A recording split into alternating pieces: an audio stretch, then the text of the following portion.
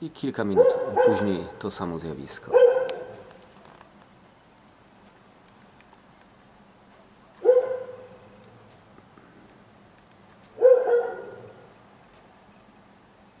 No nie jestem pewien, czy moja kamera... O, chyba, chyba teraz na...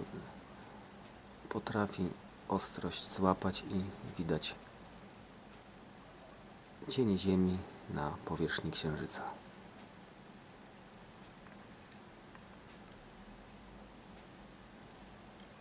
Cień Ziemi się wyraźnie powiększył.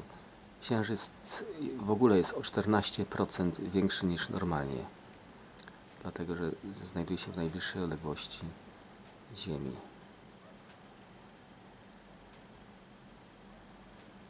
Perigeum, jeżeli dobrze pamiętam to łacińskie słowo. Ja czytałem wspaniałą książkę y, Juliusza Verne o podróży na Księżyc. Wspaniałą w sensie psychologicznym i powieściowym, literackim, natomiast jest tam y, sporo błędów fizycznych. Na przykład Juliusz Verne, czy ja być może źle go odczytuję, Verne,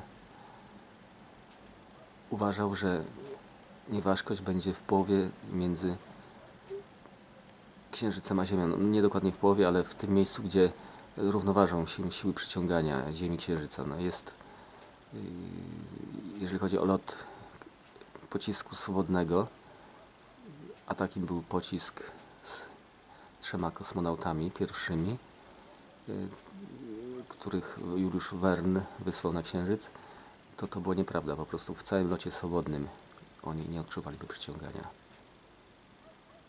Czyli byliby w stanie nieważkości, a nie tylko w jednym punkcie swojego lotu. O, również oczywiście wybuch bawełny strzelniczej, który wysłał ich na Księżyc, na, przy, przynajmniej w pobliżu Księżyca, y, po prostu przyspieszenie, jakiemu, jakiego by doznali, spowodowałoby ich śmierć w czasie startu, także cała historia była tylko fikcją literacką, mającą y, trochę mniej wspólnego z prawami chociażby fizjologii i fizyki. Trwa, proszę Państwa, zaćmienie Księżyca. Ja sobie y, wspomniałem y, taką książkę Bolesława Prusa a dokładnie biorąc Aleksandra Głowackiego Faraon, wspaniałą, w której w jednej z ostatnich partii książki jest mowa o zaćmieniu słońca i o sposobie, jakim Herhor, kapłan egipski, wykorzystał y, to zaćmienie słońca do obalenia faraona, którego rządy były mu nie w smak, czyli, czyli faraona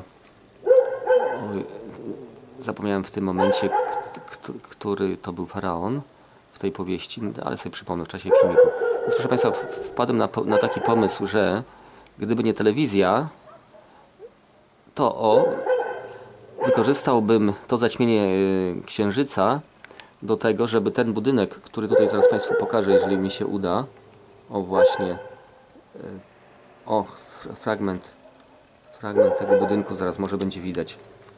Zobaczymy. Jest to tak zwany gmach. Nie widać go za bardzo, nie jest zaświetlony. O, tam może strzępy tego budynku. Taka lekka poświata jest widoczna, ale w tamtym kierunku jest ogromny budynek, który od kilkunastu lat stoi niewykorzystany, praktycznie biorąc wcale. Oczywiście tam jakieś fikcyjne zajęcia, znaczy fikcyjne, zajęcia może nie fikcyjne, tylko że w bardzo niewielkim stopniu jest on wykorzystywany, ogromny budynek, ogromnej kubaturze. Ja w tym budynku chciałem zrobić świetlicę dla biednych dzieci, trudnej młodzieży oraz dla, dla wszystkich. Po prostu wszyscy mieszkańcy Staszowa mogliby tam znaleźć jakieś zajęcia dla siebie, bo bym to zorganizował. I, i mali, i duzi, i dorośli, i starsi. Czynny byłby 7 dni w tygodniu, od rana do wieczora, no, do późnej nocy nawet, być może. No, chociażby tak jak dzisiejsza noc, byśmy sobie oglądali wspólnie zaćmienie Księżyca z jakąś tam prelekcją na, na temat astronomii chociażby. no i literatury, mogło być kilka pre- prelekcji, czyli na przykład zaćmienie Słońca, Księżyca w literaturze polskiej i światowej oraz przyczyny fizyczne tego typu zjawisk, no ale niestety ciemnota, która y, rządzi Staszowem i ta poprzednia ekipa i ta obecna y, nie pozwalają na to. Wolą, żeby ten gmach stał prawie że niewykorzystany. No i sobie pomyślałem, że taką ciemnotę bym znalazł jakiś pretekst, żeby ją tutaj przyciągnąć i bym zagroził, że swoimi magicznymi siłami potrafi nie tylko pożreć księżyc, ale i słońce. I, ben, I ta ciemnota będzie miała ciemno w ciągu dnia, jeżeli nie da mi tych pomieszczeń. Albo wręcz, wręcz na przykład spróbowałbym obalić tą ciemnotę całkowicie. Bo to zaćmienie słońca będzie całkowite. O, widzą Państwo, widzą Państwo, że coraz mniej księżyca Państwo widzą, prawda? Na księżyc nachodzi cień Ziemi. No ale niestety, proszę Państwa, ten sposób się by nie udał mi z uzyskaniem potrzebnych pomieszczeń na rzecz świetlicy mojej, dlatego że ta ciemnota ogląda telewizję. I telewizja wszystko psuje. W telewizji tej ciemnocie były tłumaczyli, że to nie jest żadna moja magiczna siła, tylko po prostu zaćmienie księżyca. Ta ciemnota może nie bardzo wie, co to jest zaćmienie, ale, ale, ale wie, że nie ma się czego bać, że księżyc y, wróci za y, kilka godzin na niebo w, znowu w pełni. Będzie widoczny. Także proszę Państwa, to jest właśnie tra tragiczny efekt yy, telewizji, czyli prądu elektrycznego, elektryczności. Le Lenin mówił, że komunizm to jest władza, władza rad plus elektryczność. No i mamy właśnie taką władzę ciemnoty, a elektryczność tą władzę ciemnoty konserwuje. I magister Zarzycki żegna się z Państwem w tym momencie. Tutaj, proszę Państwa, widać y, fragment ściany tej byłej Staszowskiej Uczelni Wyższej, która stoi w tej chwili no, prawie że niewykorzystana. Znaczy ten budynek stoi prawie że niewykorzystany. Natomiast y, tutaj widać ten już prawie że w całości zaćmiony księżyc. Ja tylko Państwu dopowiem do poprzedniego filmiku, że y, mówiąc o tym, że chciałem te pomieszczenia uzyskać od tej ciemnoty, która rządzi Staszowem, to nie znaczy, że chciałem uzyskać za darmo. Po prostu ja bym je wynajął za jakiś tam rozsądny czynsz. Taki, który za tego typu pomieszczenia by się tej ciemnocie należał. Znaczy no, nie, nie tyle tej ciemnocie, bo to nie, nie szłoby do prywatnych kieszeni tej ciemnoty, która rządzi Staszowem, ale do, do kasy miasta. Także mój pomysł na zorganizowanie świetlicy w tamtym budynku to nie był jakiś pomysł socjalistyczny. Ja bym po prostu wynajął i zorganizował różne zajęcia. No i to tylko taka mała moja dokrętka do poprzedniego filmiku, a teraz widzą Państwo, że już w połowie księżyc jest pożarty przez cień Ziemi. Często ludzie mnie pytają, dlaczego proszę Pana nie chcą Panu wynająć tych pomieszczeń, które są Panu potrzebne na zorganizowanie tej świetlicy dla biednych dzieci, trudnej młodzieży oraz dla wszystkich. Bo ja bym zorganizował tam zajęcia na przykład takie wyrównawcze z matematyki czy z innych przedmiotów, bo rozmawiałem również tam z biologami, z historykami, czyli nie chcieliby poprowadzić takich zajęć zupełnie za, za darmo. Byłby w pewnym sensie pełny socjalizm, bo ci ludzie dla własnej satysfakcji, emerytowani nauczyciele na przykład i aktualni, nauczyciele też powiedzmy tam raz w miesiącu czy raz w tygodniu na godzinkę by przyszli i coś by młodzieży wytłumaczyli oraz młodzież sama by zorganizowała takie zajęcia w sensie takim, że ktoś dobry z fizyki pomagałby w fizyce tym, którzy nie są dobrzy albo ktoś bardzo dobry z, powiedzmy z chemii pomagałby też bardzo dobrym z chemii, ale w innych działach chemii i ludzie by się dzielili swoją wiedzą, jeżeli chodzi o młodzież, to bo to młodzież mogłaby te zajęcia prowadzić pod jakąś kontrolą osób dorosłych, jeżeli chodzi o bezpieczeństwo, jeżeli chodzi o, o porządek. No i mnóstwo różnych zajęć, jakieś tam kółka teatralne, jakieś kółka hobbystyczne. Wszystko to można by zrobić i ogromną czytelnię. Mam masę różnych książek naukowych, popularno-naukowych, które byłyby dostępne dla, dla ludzi, masę różnych, różnych czasopism wartościowych. No i ludzie mnie pytają, dlaczego ta ciemnota nie chce pan, nie, nie zgadza się, żeby panu to wynająć. A woli, żeby stało puste, prawie że i niewykorzystane. No i mnie jest ciężko to wytłumaczyć ludziom i w zasadzie jedynym tłumaczeniem jakimś rozsądnym, racjonalnym, to jest to, że po prostu ja nie należę do żadnej kliki, która rządzi Staszowem, ani, ani rządziła, o, księżyc mi zniknął, ale teraz myślę, że go zaraz złapę. Niech się Państwo nie, nie boją o to. Po prostu nie należę do tej kliki i w takim razie ta klika traktuje mnie z, z, z buta, czyli po prostu żaden mój pomysł nie, nie może być realizowany z zasady, że nie jesteś w naszej klice, to w takim razie my ci nic tutaj nie, nie udostępnimy, nie, nie wynajmiemy. No bo, bo, po prostu nie jesteś w naszej klice. Gdybyś był w naszej klice, to, to, to tak, to, to, byśmy cię tam zatrudnili, byśmy ci płacili za, za to wszystko. Bo ja oczywiście mam na myśli, że robiłbym to bezpłatnie dla Staszowa, a znalazłbym sobie źródło utrzymania na przykład w filmowaniu tych zajęć i udostępnianiu w internecie chociażby, czy pisaniu, y, czy pisaniu książek, jak można takie wspaniałe zajęcia, bo nie wątpię w to, że one byłyby wspaniałe przy pomocy różnych sił fachowych, y, jak można takie zajęcia zrobić. I to te książki by się rozchodziły na tyle szeroko, że z tego mógłbym się utrzymać chociażby. No oczywiście też mógłbym udzielać korepetycji w jakimś tam y, marginalnym zakresie tylko po to, żeby z miesiąca na miesiąc przeżyć, a ja potrzebuję niewiele pieniędzy do, do tego celu. No i proszę Państwa, to, że nie jestem częścią tutaj żadnych staszowskich klik, to wszystko y, bierze dlatego w łeb, a księżyc, proszę Państwa, jest pożerany przez cień Ziemi coraz y, bardziej. W Państwa umysłach może powstać taka refleksja, no nie magistrze Zarzycki, no to w takim razie źle postępujesz, y, powinieneś zostać członkiem jakiejś tutaj staszowskiej kliki rządzącej albo aspirującej do rządów nad Staszowem i wtedy uzyskiwałbyś y, różne korzyści dla miasta, czyli różne puste pomieszczenia. Aha, bo, proszę Państwa, bo jeszcze jedna taka informacja. Ten stojący tutaj prawie że niewykorzystany pusty budynek przez lata, to nie jest jedyny pusty budynek stojący w Staszowie, który się nadaje na zorganizowanie tego typu zajęć. Ba, każda szkoła po południu stoi prawie że niewykorzystana, prawie że pusto. W soboty, w niedzielę to, to, to każda też stoi pusto. Yy, no i dlaczego, dlaczego nie magistrze Zarzycki nie zostaniesz członkiem jakiejś kliki? Czy nie potrafisz yy, czegoś takiego prostego zrobić? Otóż, proszę Państwa, ja mam jakieś takie mm, wewnętrzne poczucie estetyzmu zbyt daleko posunięte, że nie, nie lubię być członkiem jakiejkolwiek kliki, ale raz się przemogłem i w, w pe pewnych wyborach samorządowych w drugiej turze, w której już nie startowałem, bo startowałem w pierwszej turze i dostałem niewiele głosów, bo nie, nie powiesiłem się, a wszyscy inni się oczywiście powiesili w tysiącach y, egzemplarzy swoich y, cudownych fotek. A ja się w ogóle nie, nie wieszałem, bo nie lubię się wieszać. Tak jakoś mam już y, w mojej psychice, że mi się to źle, źle kojarzy, wieszanie się. Na, nawet wyborcze na słupach, y, bramach, y, ścianach, y, płotach i wszędzie, gdzie się człowiek może powiesić w czasie wyborów. Człowiek, który chce dostać się do, do koryta. No więc ja się nie wieszałem, a tamci się wieszali i wobec tego w drugiej turze było dwóch ciemniaków. Ja jednego z nich, tego, którego sądziłem, że, że wygra, krótko mówiąc, poparłem. Wiedząc, że to jest ciemniak oczywiście. Ten ciemniak moje poparcie na swoich plakatach potem umieścił, wygrał wybory.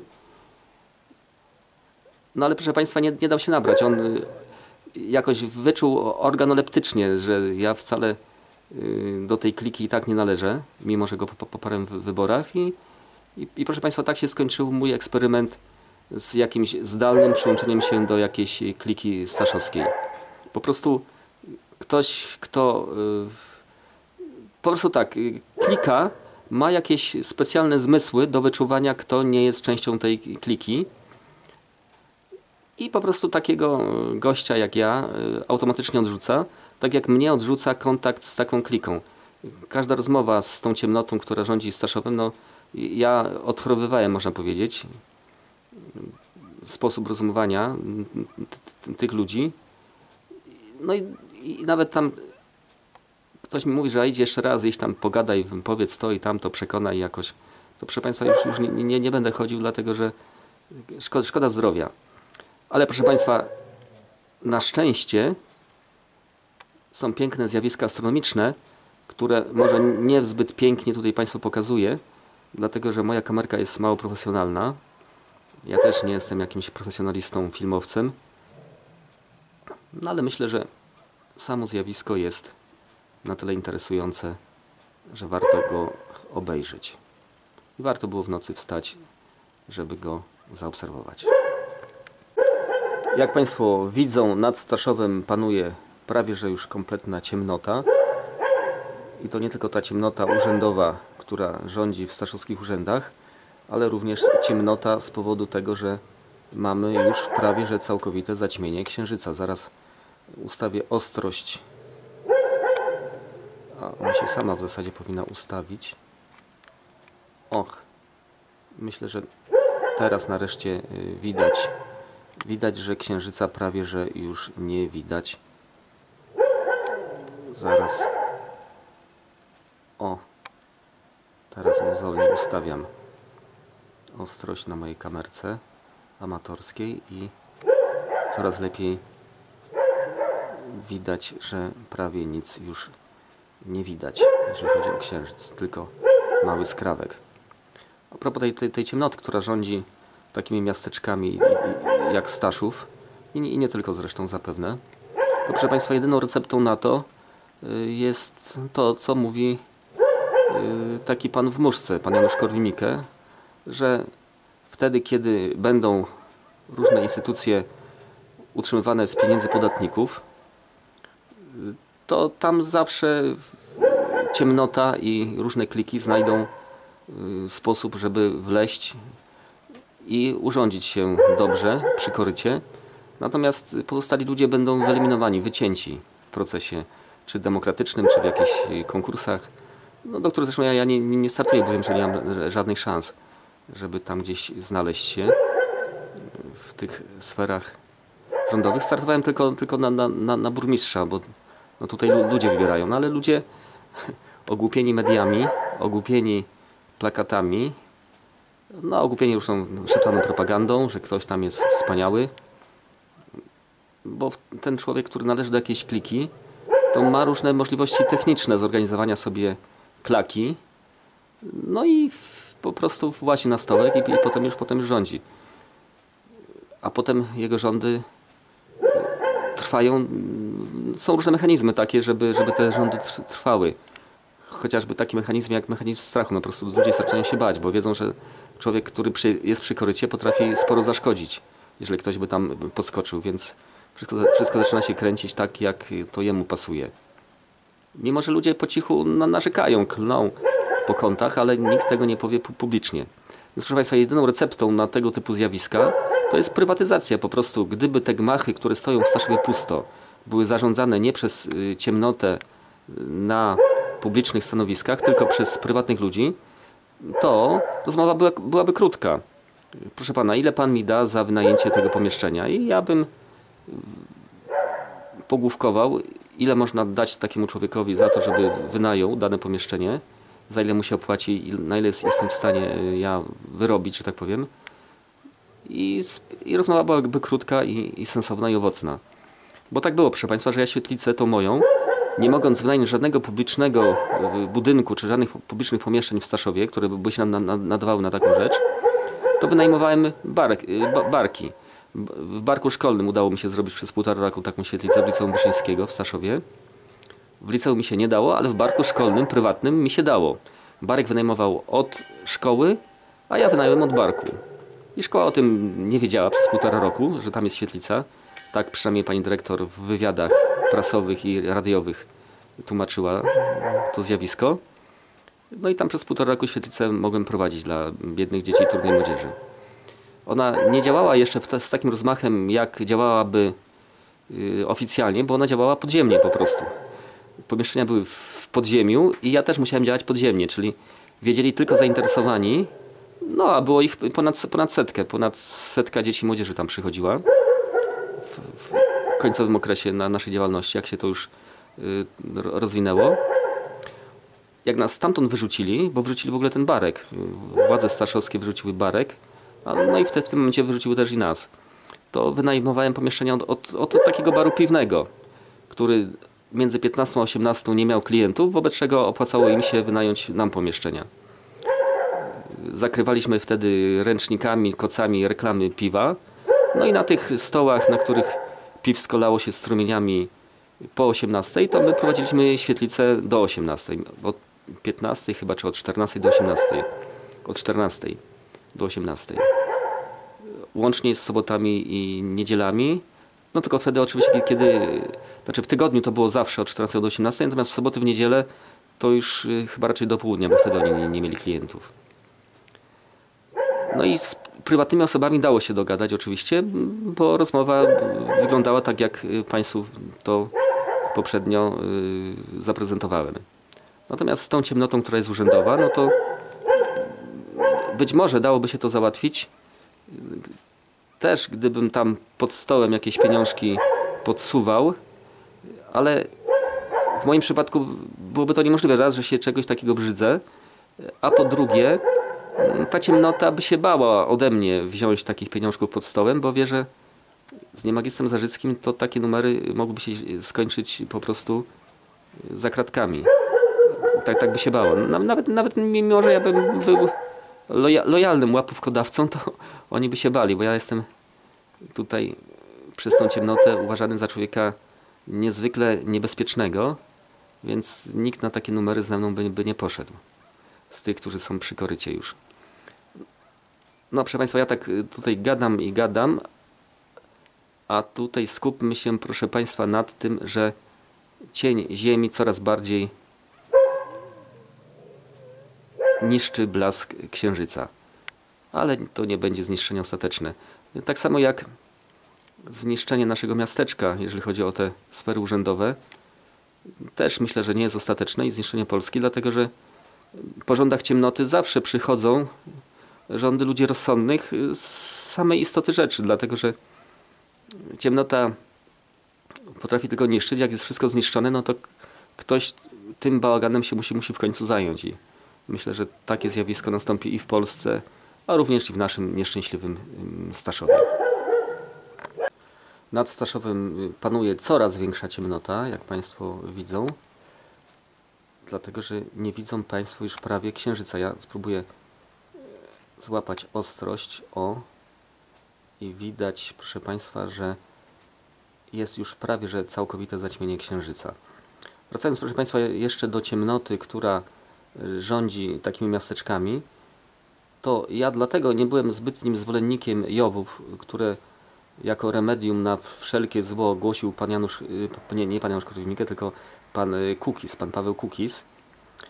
Pan Korwin-Mikke też jest takim umiarkowanym zwolennikiem Jowów. Po prostu uważa, że demokracja to jest ustrój absurdalny, bo zna y, Arystotelesa, wielkiego filozofa, no jednego z największych filozofów podobno, który twierdził, że demokracja są to rządy hien nad osłami. Więc czy, czy te rządy hien są wybierane w Jowach, czy, czy proporcjonalnie, to ma niewielkie znaczenie. To wie pan Janusz Korwin-Mikke, natomiast pan Paweł Kukis tego nie wie. Ja też podzielam y, pogląd Arystotelesa i pana Janusza Korwin-Mikkego, dlatego że właśnie wybory na przykład na burmistrza, na, na, na, na radnych w takich małych miasteczkach są, są to wybory typu JOW, jednomandatowe okręgi wyborcze. No, ten, który wygrywa, bierze wszystko. No i proszę Państwa, ciemnota i, i tak potrafi się do koryta bardzo łatwo y, dopchać. Przy pomocy plakatów, przy pomocy mediów, przy pomocy pieniędzy, ulotek, przy, przy pomocy pieniędzy oczywiście wydanych na ulotki oraz najprawdopodobniej przy pomocy pieniędzy, które no, ludzie, którzy wiedzą jak się robi różne interesy z urzędnikami gminnymi czy tam powiatowymi, to oni wyczuwają, kogo trzeba poprzeć, żeby te interesy potem się dobrze, dobrze im prowadziło. Przy czym nie takie interesy, że ktoś prowadzi uczciwą działalność biznesową, tylko takie interesy troszkę y, powiązane z, z władzą, które nie, nie, są takie do końca uczciwe. A o, o, czym się Państwo przekonują po różnych aferach, które co jakiś czas ktoś tam ujawni, bo ma też jakiś w, ty, w tym interes, żeby to ujawnić, albo jest tak wściekły, że, że pewne rzeczy wychodzą, wychodzą na jaw. No więc y, proszę Państwa, y, to, to jest ta lokalna władza jest przykładem, że żadne jowy demokracji nie, nie są w stanie u, uleczyć. Jest to system chory od samego początku, z samych swoich założeń. Ja jestem monarchistą. Ja uważam, że jedynym rozsądnym ustrojem jest monarchia dziedziczna, gdzie jest jakiś władca, który ma interes, żeby rząd, dobrze rządzić y, państwem, dlatego że wie, że po kilkudziesięciu latach jego rządów, czy po kilkunastu, czy po kilku, różnie to może być, y, rządy obejmie, jego następca, czyli jego, jego syn. I dlatego ma interes, żeby tym państwem zarządzać y, dobrze, w sposób jakiś dalekowzroczny, a nie jakaś klika, która dorywa się na parę lat do władzy na szczeblu centralnym lub na parę, paręnaście, czy nawet czasami parę dziesiąt lat na szczeblu jakimś małomiasteczkowym, tak jak to jest w Staszowie. No ale jak już jest ta demokracja, to, to, to, to niech sobie będzie. To się prędzej czy później to się wszystko musi, musi zawalić, dlatego że chore systemy rządów mają to do siebie, że zawsze upadają. Pan Janusz Korwin-Mikke powtarza e, powiedzenie mądrego człowieka, że rządy upadają nie z powodu y, zła i okrucieństwa, tylko z powodu braku pieniędzy. No po prostu w pewnym momencie kończą się y, takim, takiej ciemnocie y, pieniążki na, na, na to rządzenie. Ludzie są wściekli i taką władzę obalają i no i wtedy rządzą, rządzą inni ludzie, albo podobni durni, albo jeszcze więksi niż, niż poprzednio. To wtedy znowu są obaleni przez wściekłość ludności, albo do władzy dochodzą jakieś rozsądne siły, które potrafią utrzymać porządek, potrafią utrzymać yy, spokój w państwie, dobre zasady i wtedy w państwie jest dobrobyt, ludzie są zadowoleni i te rządy wtedy trwają czasami nawet po kilkaset lat, jakaś jedna rozsądna dynastia. No i coś takiego, proszę Państwa, niewątpliwie nastąpi również w naszym nieszczęśliwym świecie, bo widzimy, widzimy gołym okiem upadek demokracji na całym świecie tak zwanego zachodu. Ameryka led, led, ledwo dyszy pod rządami komuny, która tam się dorwała do władzy. Europa Zachodnia w postaci tej Unii Europejskiej też na naszych oczach się rozpada. No u nas jest też nie, nie lepiej. Także to wszystko, proszę Państwa, niedługo na pewno, na pewno runie i będzie zupełnie inny świat. Ale skupmy się, proszę Państwa, w tym momencie na tym, że Księżyc jest już prawie całkowicie zaćmiony. Ja tu niewiele Państwu mówię, mówię o zaćmieniu Księżyca, dlatego że to mogą Państwo sobie fachowe różne prelekcje na ten temat znaleźć na pewno w internecie w lepszym wydaniu niż moje amatorskie. Natomiast ja mówię o tym, na czym ja się znam y, no prawie że najlepiej. Najlepiej znam się na uczeniu oczywiście, uczeniu matematyki, uczeniu innych przedmiotów, zwłaszcza jeżeli chodzi o takich najmłodszych uczniów z podstawówki, no i przedszkola, bo nawet takie dzieci uczyłem, to na tym się znam. No oraz znam się na tych mechanizmach władzy, bo się zajmowałem trochę w życiu polityką, zwłaszcza na tym szczeblu takim centralnym, bo to mnie najbardziej interesowało, a mniej ten szczebel lokalny, więc też się z państwem jakimiś okruchami zdobytej ciężko mojej wiedzy mm, z państwem się dzielę. Znaczy ciężko w takim sensie, że te różne doświadczenia kosztowały mnie mnóstwo, mnóstwo zdrowia, o tak to nazwijmy.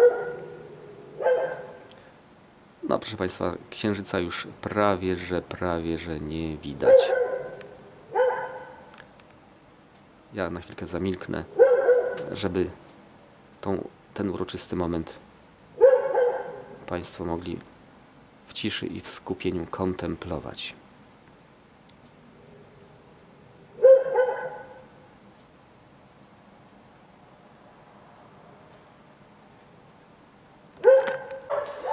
Staszowska ciemnoto urzędowa. Tak jak potrafiłem w dzisiejszej nocy spowodować, że księżyc zniknął z nieba, że pewne moje magiczne sztuczki spowodowały, że jego blask przestał na niebie świecić, tak samo potrafię sprawić, że słońce zostanie pożarte przez wielkiego smoka, którego wypuszczę z matni i blask słońca też w ciągu dnia przestanie istnieć. Również wasze koryta rozpadną się w proch i pył i nie będziecie mieli na czym staszowska ciemnota nie będzie miała na czym żerować. Jeżeli nie wykonasz tego, o co ja Cię od wielu lat Staszowska ciemnotą proszę, czyli o wynajęcie pomieszczeń na zrobienie świetlicy dla staszowskiej młodzieży i dla dzieci z biednych rodzin, które potrzebują pomocy w nauce i po, po pomocy jakiejś wychowawczej, pomocy w zagospodarowaniu wolnego czasu. Także Staszowska ciemnoto, weź pod uwagę to, że posiadam potężną siłę, która może spowodować nawet takie kosmiczne katastrofy jak to zaćmienie Księżyca. W tej chwili, chcąc pokazać swoją łaskawość, spowoduje, że blask Księżyca będzie stopniowo wracał na niebo, ale następnym razem, jeżeli spowoduje to, że zniknie Słońce, to ciemnoto będziesz musiała żyć w wiecznej ciemnocie. I nie tylko ciemnota będzie panowała nad Staszowem, ciemnota urzędowa, ale również ciemnota w sensie astronomicznym. To jest moje ostatnie słowo, nie magister Zarzycki.